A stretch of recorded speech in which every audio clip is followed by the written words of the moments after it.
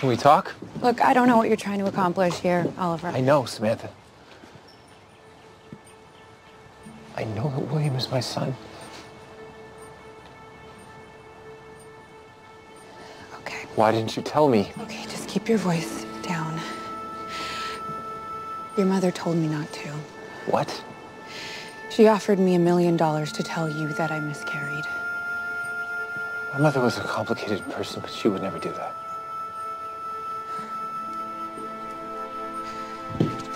Wait here.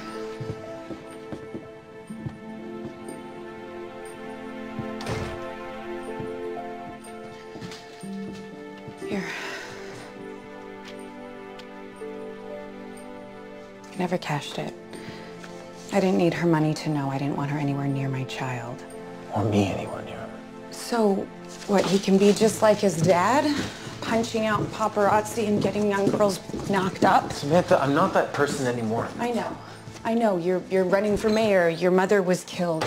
Your friend Tommy, you're a different person now. But can you really tell me that your life is any less crazy? Can you honestly say that William isn't better off with your world kept away from his? You know, you're right. I'm being selfish, but I want an opportunity to get to know my son, and I think that a young boy deserves the opportunity to get to know his father. Look, he's happy. He's, he's well adjusted. I don't want to run the risk of him getting sucked into your orbit. That can't happen, which means that he can't know that you're his father, and nobody else can. I don't care if that sounds harsh. I'm his mother, and I will do whatever, whatever I feel I have to do to protect him.